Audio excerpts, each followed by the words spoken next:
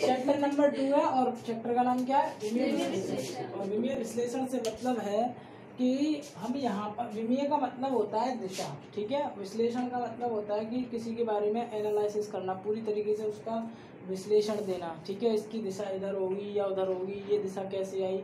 ये सारी चीज़ें किसमें आएँगी? विश्लेषण में ठीक है?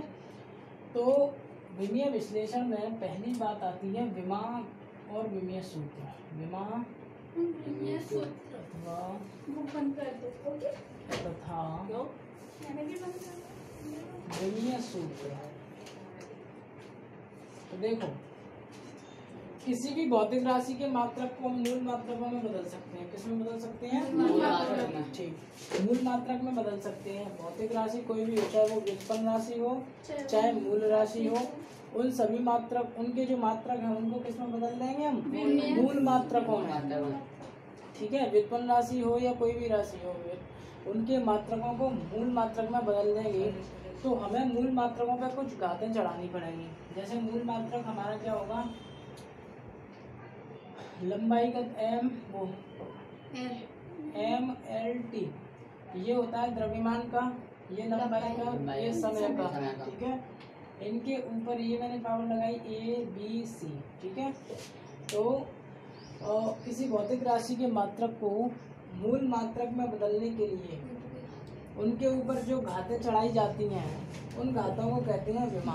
क्या कहते हैं? विमा। और इनसे बना जो सूत्र है इस सूत्र को हम कहते हैं क्या? विमीय सूत्र। समझ गए या नहीं? यस ठीक है। किसी भी भौतिक राशि के मात्रक को मूल मात्रकों में बदलने के लिए मूल मात्रकों पर जो घातें चढ़ाई जाती हैं उन्हें कहते हैं विमा। तो विमा क्या है? ए बी सी क्या है? विमा है। और इनसे बनने वाले सूत्र को क्या कहते हैं? विमा। विमीय सूत्र। समझ गए? विमीय सूत्र कहते हैं ठीक? अब ये कैसे ड्राइव होंगे वो बताता हूँ ठीक? सबसे पहले कुछ मूल राशियों के मैं तुम्हें बता देता हूँ विमीय सूत्र होते क्या हैं। मूल राशियाँ। और ये है विमीय सूत्र। क्या है ये?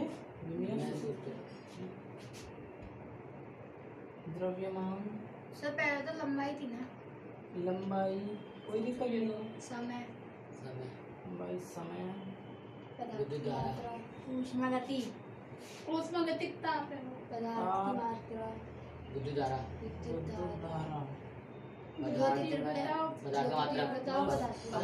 चार पाँच पाँच? है। इन पाँच से हमारा सब काम हो जाएगा देखो। द्रव्यमान का विमीय सूत्र होता है एम इसे देखो इंग्लिश में इसको कहते हैं मास तो इसका पहला अक्षर ले लिया। समझ गए? ज़्यादातर जो विमीय सूत्र बनाएँगे ये इनके इंग्लिश के नाम का पहला अक्षर होगा इसको कहते हैं मास। इसको कहते हैं. L N G T H time का टी और ये टेम्परेचर और ये विद्युत धारा यानी कि इलेक्ट्रिक करंट करंट तो देखो बेटा मास का एम हो गया लंबाई का एल हो गया समय का टी हो गया ताप का टी नहीं होगा वो हो जाएगा केल्विन का के समझ गए या नहीं। वो सॉरी केल्विन का मतलब थीटा हो जाएगा ताप को हम थीटा में भी नापते हैं। तो टेम्परेचर की विमा क्या होती है? थीटा। समझ गए? क्योंकि एक बार टाइम का टी हो चुका।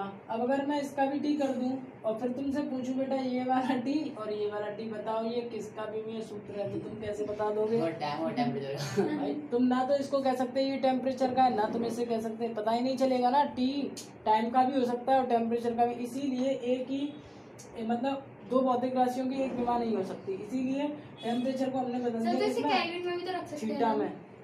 केल्विन में रख सकते हैं लेकिन इसको रखने का ऐसा है कि थीटा को डिग्री में नापते हैं ना।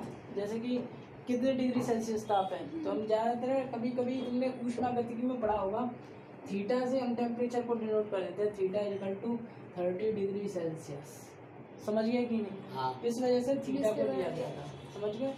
इसके बाद जो तुमने कहा मात्रक मात्रक से हम बिल्कुल इसमें जा रहे हैं विद्युत धारा में मात्रक को ही लेंगे। मात्रक होता है इसका विद्युत धारा का एम्पियर। एम्पियर। और एम्पियर का हम यहाँ पे ले हैं ई ई। समझ गए? तो ये वैज्ञानिकों ने अपनी दृष्टि के आधार पर सिलेक्ट किए हैं कि इसका केल्विन ना रख के थीटा रखा और इसका विद्युत धारा ना रख के एम्पियर समझ गए कि नहीं?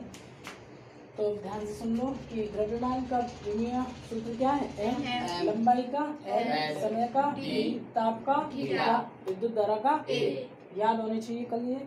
समझ गए कि नहीं? अगर ये याद है तो बहुत अच्छी